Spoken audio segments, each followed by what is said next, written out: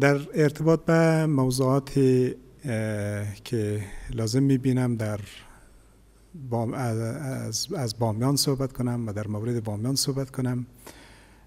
خوشبختانه بامیان یکی از ولایت های امن افغانستان هست و هیچ گونه نگرانی امنیتی در محدوده و جغرافی های بامیان ما نداریم. هرچند که مرز بامیان و بغلان گهگداری ناامن می شود و یک تهدید هست.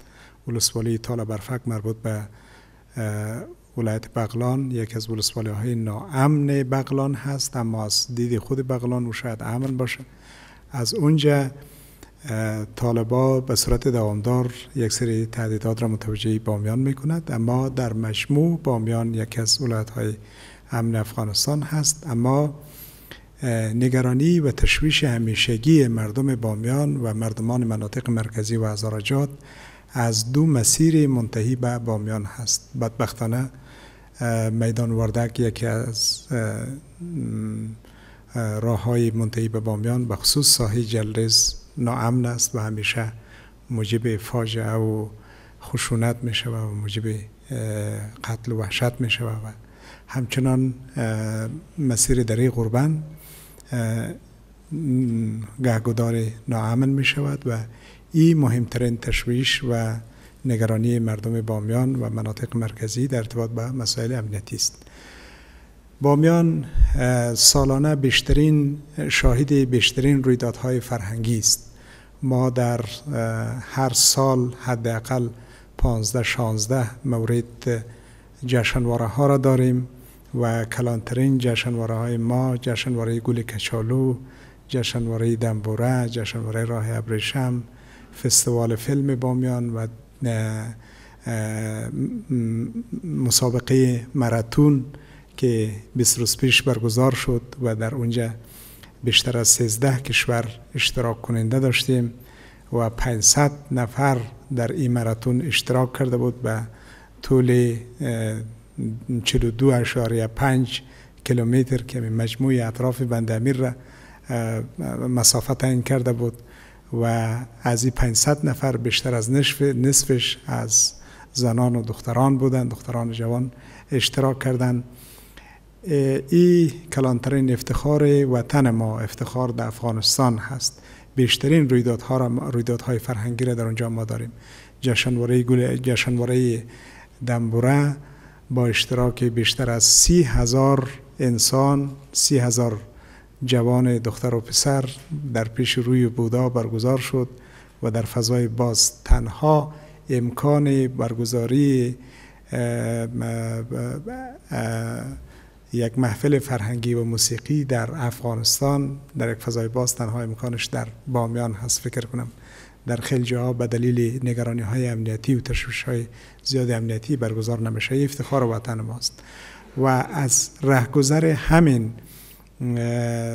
رویدادها و محافل و برنامه های فرهنگی و فستیوال های گوناگون ما در طول چهار سال گذشته تانستیم که بیشترین بازدید کننده را پایش در بامیان بکشانیم و یک تحول مثبت هست. تا سال 1394 را مجموع آمار بازدید کنندگان از بامیان و بند امیر به 20 هزار نفر می رسیده اما خوشبختانه در طول چهار سال سالهای 95 96 97 و 98 امسال ما به ترتیب بیشترین بازدید کننده را در سال 96 داشتیم که 350 هزار بازدید کننده بوده و سال گذشته متاسفانه به دلیل ناامن شدن مسیر جلریز در فصل بهار یک قدر گراف پایین آمد. 150 هزار بازدید کننده داشتیم و امسال تا الهزر 220 هزار بازدید کننده یا توریست داخلی. ما از بند امیر و بامیان داشتیم و در مجموع این رویدادهای فرهنگی برنامه های فرهنگی موجب جذب توریسم و تحول میشه و صنعت توریسم طوری که خود شما می‌دانین. یکی از پردرآمدترین صنعت ها در جهان هست. دومین صنعت پردرآمد بعد از نفت در سطح جهان هست. ایمیج عمومی افغانستان اگر تغییر کند افغانستان و ولایات تاریخی و باستانیش از جمله بامیان یکی از مقاصد عمده و مهم توریستی و گردشگری در سطح جهان بوده می‌تواند و ما برای چنین ایده و آرزوی و برای تحقق چنین ایده و آرزوی تلاش می‌کنیم. در بخش زراعت بامیان می‌تونه ظرفیتی را داره که یکی از ولایت های تولید تخم باشه یکی از مراکز عمده و مهم تولید تخم باشد. امسال 380 هزار متر یک تن کچالو بامیان تولید کرده است و ای در مجموع یک فیصدی بلند پیشرفت را و تحول را نشان میده که نسبت به سال گذشته 25 درصد ما پیشرفت و پروگرس داشتیم و نسبت به سال گذشته 25 25 درصد پیشرفت یک علامت مثبت هست. هرچند که تاکید می‌کنم با تاسف مارکت مشخصی بیرون از افغانستان کچالوی بامیان ندارد ولی تا این لحظه مفاد دهقان 100 فیصد بوده است. از 110 افغانی شروع تا 80 افغانی فی سیر کچالو وقتی که فروخته می شود به اساس برآورد وزارت محترم زراعت و ریاست زراعت در بامیان فی سیر کچالو برای دهقان 50 افغانی تمام شده. از 50 افغانی هرچی که بالا میفروشه و اما اوسطش اگر 100 افغانی فروخته شد. معنیشی که 100 فیصد دهقان مفاد داشته. این خوب است به نفع تحول اقتصادی وطن ما هست. و همچنان در بخش معارف تحصیلات عالی با چهار سال قبل بامیان از شش پنزهی که پانتون بامیان درستش دارای تعمیر بود. اما امروز صرف یک پنزه تازه احداث شرایط که دارای تعمیر نیست. دیگه همش برسیش در طول چهار سال ما تعمیر ساختیم. مهمتر از اینا سال اول که در اونجا ما رفته بودیم یک مورد لیلی هم وجود نداشت. به خصوص لیلی دخترانه. کلانترین لیلی دخترانه به ارزش 100 میلیون افغانی در پنتون بامیان اعداد شده است و دو لیلی پسرانه هم همه از کمک های کشور دوست هند در اونجا تحت کار هست.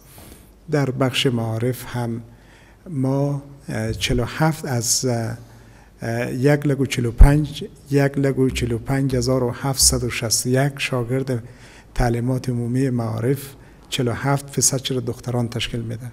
و در این بخش یک تحول مثبت دیگر این است که در طول چهار سال ما بخش سواد آموزی ما سه سال میشه که در سطح افغانستان بامیان اول هست مقام اول را کسب کرده و 20 هزار سواد آموزی که داریم 80 فیصد چرا زنان تشکیل میده و یک تحول عمدتا سواد آموزا از افراد کلانسین تشکیل میشه و ای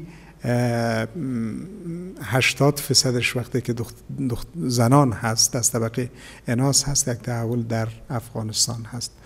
و بامیان ظرفیت گردشگری بلند را دارد و به دلیل اینکه یکی از ولایت های امن افغانستان هست بیشترین